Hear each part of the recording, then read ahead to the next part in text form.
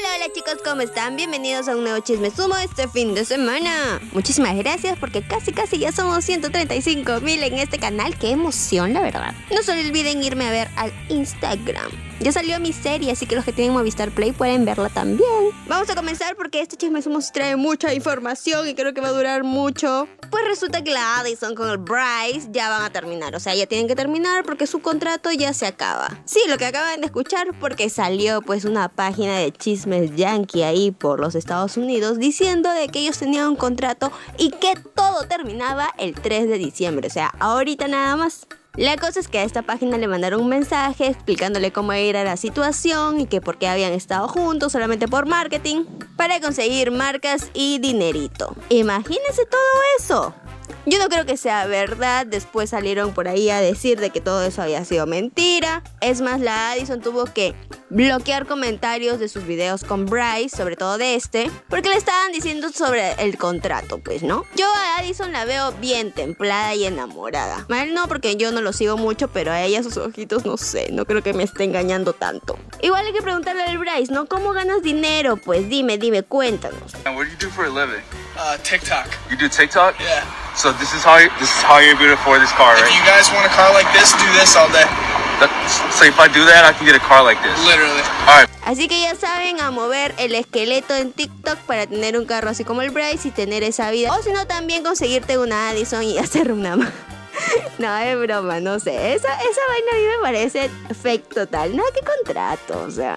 Si no tienes una Addison, puedes conseguirte una Charlie también. Ah, esa te sale más a cuenta. Porque te va a recoger al aeropuerto. Así como Charlie fue a recoger a Chase y pues estaban abrazando. Así que casi dicen beso, beso, beso. Pero no, porque estaban con mascarillas, no se podía. Y ya pues están confirmando de que volvieron, ¿no? Porque eso de irte a recoger, pues que amiguitos nada más, no creo. Igual al paparazzi que grabó todo esto le empezaron a atacar y a tirar hate diciéndole, pero ¿por qué? Su intimidad, ¿dónde está? Pues chicos, es Hollywood. Si no, pregúntenle a Justin Bieber. Ni modo, si eres famoso, no hay intimidad. Así de simple. Así como no hay intimidad para estos chicos, los siguientes chicos que voy a contar. Pues se supone que esta pareja, Mike y Morgina, pues era una pareja, él era latino, ella estadounidense y ella estaba aprendiendo a hablar el español. Entonces a la gente no le gustaba mucho el trato que le daba este chico a ella porque se burlaba cuando ella no sabía alguna palabra o cuando él hablaba español con otras personas como en este video. ¿Qué es lo que más te gusta de Morgan? pero físicamente o económico, digo, eh, emocional. Ella se tira peo delante de mí. La cosa es que terminaron. Entonces dijeron sí porque él la trata mal y todo era el malo, el malo, el malo, él, pues, ¿no? Por la forma que uno veía cómo actuaba en redes. Todo se empeoró porque salieron unos videos triple X de ellos dos cuando estaban teniendo cosillas que nunca debieron salir y encima dijeron no, él las filtró. Y no saben quién habló con este chico. Pues el Pablancho fue, habló con el chico y le dijo que él no habría sido, no tenía nada que ver con las publicaciones triple X. Primero me dijo que el video que se había filtrado de ellos dos no había sido compartido por él. No fue que subió los videos de nosotros teniendo relaciones. Y que en ese tiempo él tenía tan solo 16 años y ella 15. Aclarando que ellos eran menor de edad cuando hicieron estos videos. Igual le contó a Pablancho que ella tenía otro novio y por eso habían como peleado. O sea, la dejó pésimo, ¿no? Pero que seguían siendo amigos, ¿no? Porque dice como que él publicó esto. Siempre te apoyaré, pase lo que pase, y estoy muy contento de habernos conocido. Y ella también salió a decir cosas buenas de él. and address something. I don't usually do this, but I don't know where the rumors are coming from that Michael abused me, Michael cheated on me, Michael embarrassed me, Michael was mean to me. Michael was not mean to me. He did not cheat on me. He did not abuse me. He did not embarrass me. Um, we had an argument like any normal couple. We had fun making videos together. We got a bit overwhelmed. We had an argument. Mí particularmente no me gustaría que me traten así, no me gustaría que me hablen así, pero no sé si ellos se llevan así, si son sus bromas entre ellos, pero a mí me parece irrespetuoso. Igual, lo más terrible son los videos filtrados. Eso no se puede borrar de la red. Pobre los dos, porque los dos están involucrados, pues, ¿no?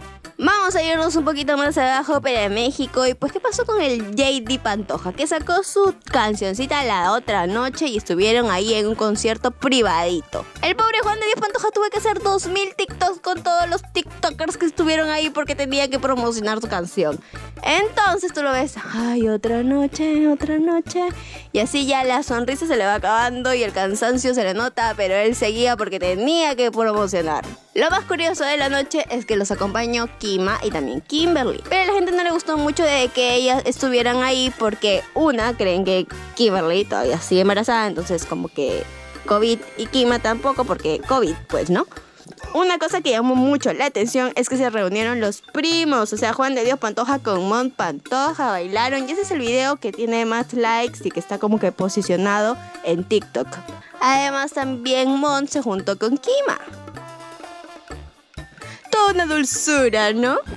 Vamos con otro temita y pues se acuerdan de Easy, se acuerdan que lo estaban chipeando con Boggy. Pues las fans no querían que lo chipeen, ¿no? Por ahí hay un mensaje como, neta, no estoy lista para que Boggy tenga novia o un chip, menos con esa tal Easy Vives. Y Boggy responde, ¿ah? respeten a otras personas, por favor. Les puso el pare a las chicas. Pero ¿cuál es la preocupación, chicas? Si Easy ni siquiera ha dicho que Boggy le gusta. ¿Tendrías algo en serio que me gustan las mujeres, me gustan los hombres? o sea, no sé. ¿Tendrías algo con Bobby? ¿Sí? Dijo que sí, señores. No, ya cállate la Ya no hay más. Bueno, ahora sí ya se pueden preocupar, ya no mantengan la calma que empiece la batalla.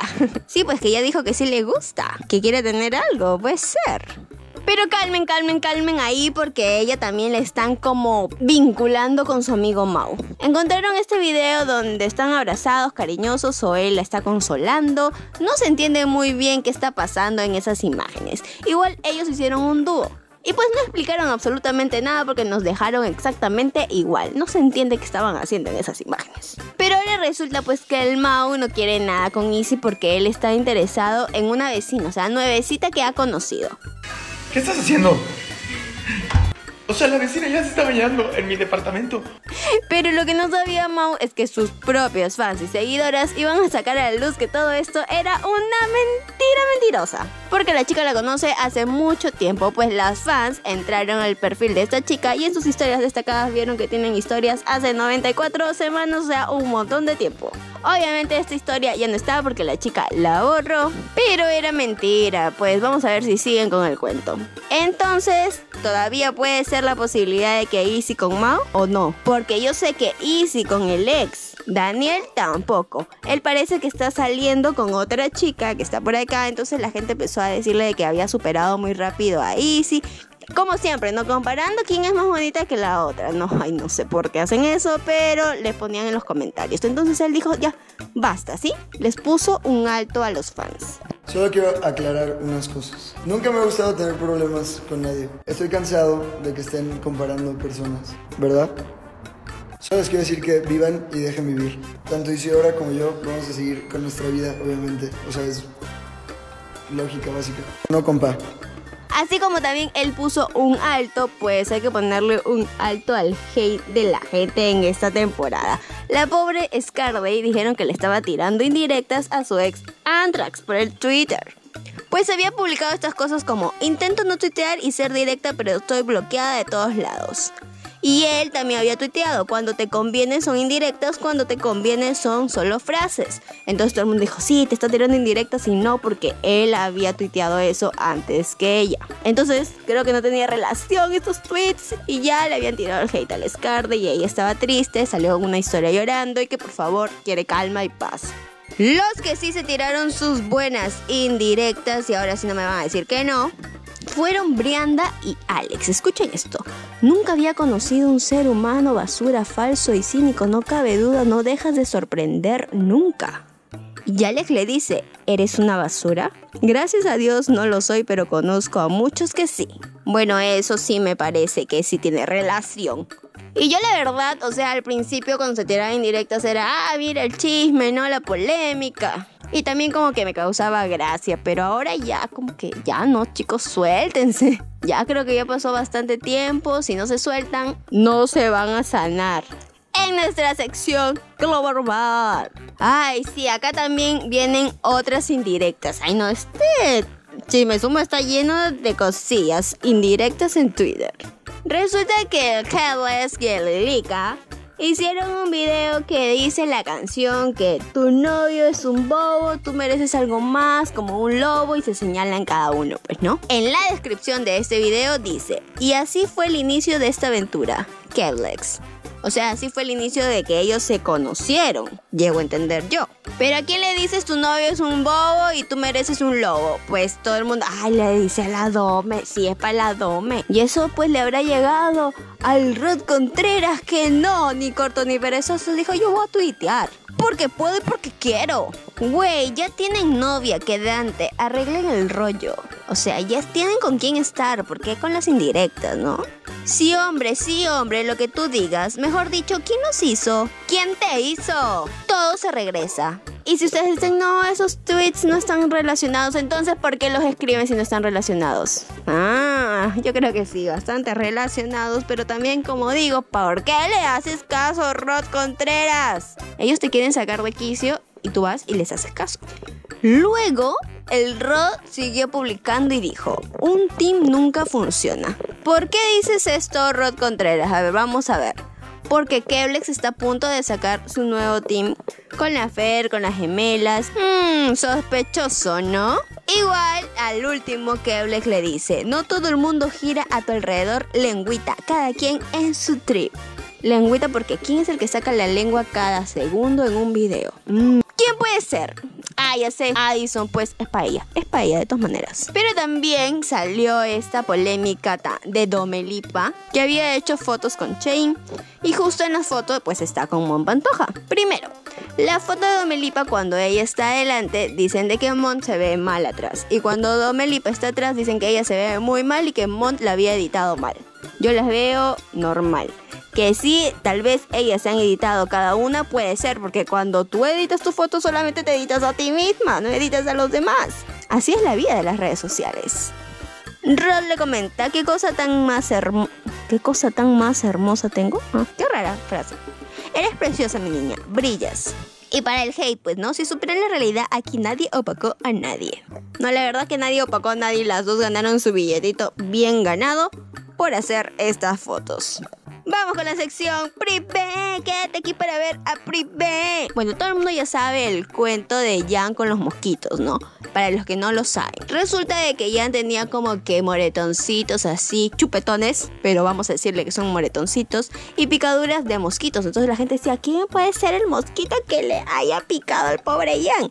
La gente dijo, pues, Darian el mosquito. Le dicen, pues, están potentes los mosquitos. Ayer es que dejé la ventana abierta, ¿no? Muy gracioso el Jan. Luego, como que ya todo el mundo había declarado de que Darian es el mosquito, le dicen, oye, ¿sabes que Mosquito viajó? Y él no lo negó. Ya, viste que Mosquito viajó. Sí vimos que se fue, sí vi que se fue con Urso. Para completarla, estos tweets atiendan. La noche es fría sin ti. Querido frío, cálmate que hoy duermo sin su calor. O sea, duerme sin él. ¿Por qué? Porque ella está de viaje y él también. Y están solos, entonces están enfriándose. Sí, sí, sí. Estos tweets también se relacionan. Así que no me digan que no. No sé, la verdad, si ellos quieren incrementar así el rumor del chip. O que en realidad estén poniendo esto con mucho amor y cariño. No puedo afirmar nada. Lo que sí puedo afirmar es el hate que está recibiendo Darian. Resulta que hizo este tren tranquilamente como varias personas y empezaron a ponerle los comentarios que da cringe. Cringe, cringe, cringe. Y yo como que, ¿por qué? Entonces empecé a leer los comentarios, pero ¿qué, qué, de raro está haciendo? Pues no. Y resulta que dicen que hace caras. Y yo quedé, ¿what? Darian Rojas hace caras desde que entró a TikTok. Creo que se caracteriza por hacer muecas y caras. Y ahora le tiran hate por hacer caras, algo que hace desde siempre. No, que la gente sí está loquilla, ¿no? O es nueva gente que está llegando y no sabe de dónde agarrarse. Una de dos. Es fin de año, ya no saben qué hacer ya. Vamos con los otros tórtolos de este, de este team, pues, ¿no? Amaranta y Ralph. Resulta que Amaranta hizo un video, Ralph un dúo, donde la canción decía que se quieren casar, pues, ¿no? Le, Ralph le pedía casarse a Amaranta y Amaranta como que pone cara de no, de no, de no, de nada. Entonces ella le pone, ¿recuerdas cuando no te quisiste casar conmigo en un video que yo hice? Es como que la venganza, pues, ¿no? Y Orson pone, ¿puedo ser el padrino? Y Ralph trato hecho. Ah, ya se están jugando con eso del matrimonio. Ya como que la cosa va seria. Porque entre juego y juego, quién sabe. Aquí los dejo pues con el tatuaje nuevo que se hizo Naim y que yo la verdad cuando él decía no es algo que ustedes me pidieron, yo pensé en realidad que iba a ser privé o no sé, la cara de ellos o todos juntos en grupo. Una cosa que tenga que ver con privé, jamás me imaginé que era Tyson. O ya tiene algo de privé y yo no me acuerdo. Pero sí vamos a decir que le quedó igualito al perrito. Hasta aquí el video de hoy. Si te gustó el video, dale like, suscríbete y activa la campanita. No te olvides de irme a ver al Instagram. Y si tienes Movistar Play, puedes ver la serie Aislados, donde yo salgo ahí. Pueden ir a ver el chisme por donde quieran. Sáquenme la vuelta, pero no me dejen. Gracias.